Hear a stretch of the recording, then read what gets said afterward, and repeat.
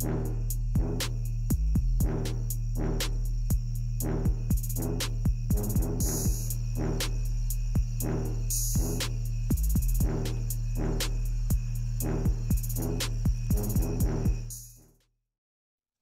so as far as I know, I have everything cleaned off here.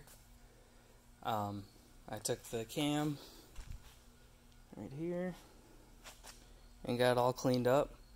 So um, I'm going to try and just apply this uh, lube, assembly lube, to the actual um, bearings itself rather than to the to the cam. I don't really want it to get super greasy. Um, buddy of mine that um, I've been consulting with, Bryce is his name, super good dude, and he kind of recommended not to get the um, bottoms of the rocker uh, of the lifters, the rollers of the lifters to be super juicy. So uh, I'm just gonna kind of squirt a little of this on there and smooth it around and do that for all of these here quick.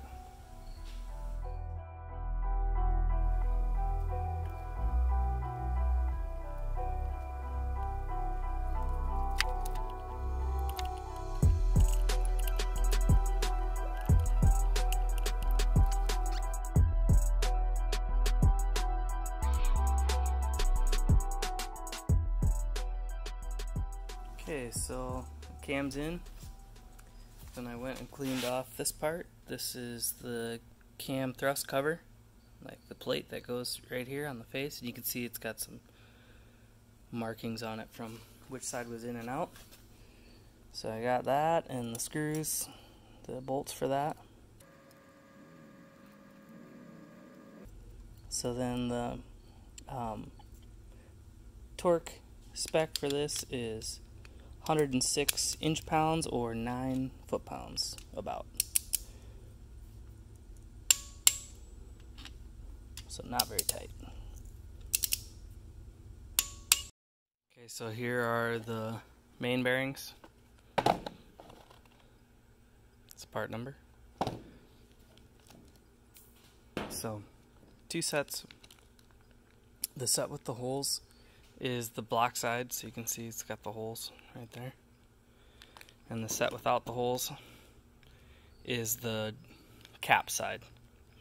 So I'm gonna get uh, get started placing those now. Something you want to look for when you're doing this is you can see that little tang right there. See that little look cut off right there. That needs to match up with. There's a corresponding spot on the block.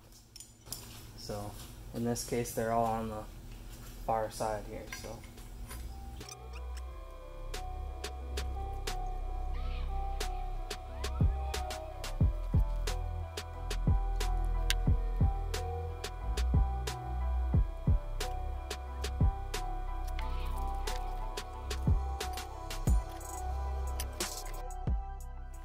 Got the uh, upper, or uh, be the lower, I guess, shells of the bearings placed into here. So again, you can see right there, see how that little notch lines up and there's not one over here, same deal. So then when I took these off, um, maybe I, you saw it, maybe you didn't, but there's a one dot there, two dots there, three dots there, four dots there, and then obviously this one's the fifth one. And even so I would remember the order relation, I did put five dots on there. And they're all on the same side, on this side. So that when I put this all back together, because I am not a pro, I feel fairly confident that this is the, the right order of how to put these together. Where I want to make sure they're going in the right spot. And it might not matter at all, but I just want to make sure. And so I assume the F in the little arrow means front. I assume the front of the engine. But beyond that, you know, they have different numbers on them. I don't know what the hell any of that means. Doesn't matter. I'm just going to do it um, this way. And so uh, I'm going to quick lube them up with some assembly lube and put them home and torque them down. And I don't know what the um, spec is yet, but I'll get there.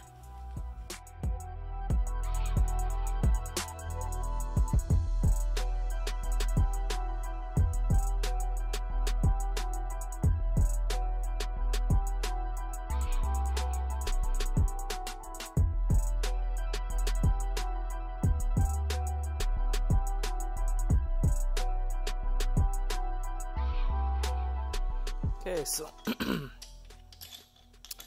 going to put these main caps, uh, the bolts in.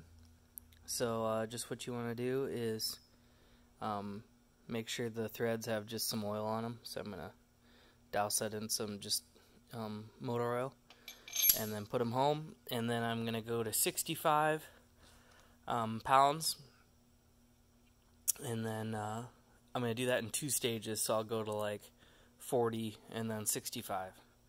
So, should be a fairly straightforward deal. Um, just 10, 10 bolts basically, and then for the for the ones with the goofy end like this, I'll just use this long longer socket to fit over there. I think that'll work. Yeah, it'll work. So that's what we'll do now.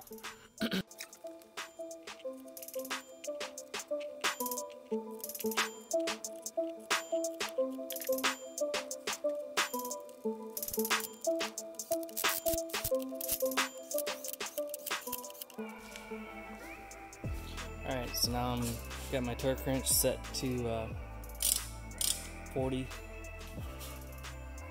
foot pounds. So now I'm gonna um, torque these down, starting from the middle and working our way out.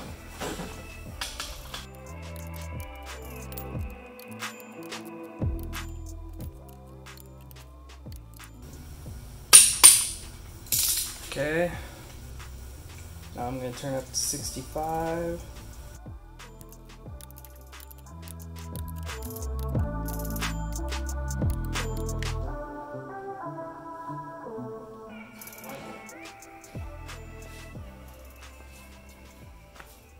So that thing spins, I mean, two fingers on the sprocket, that's nice. Good deal.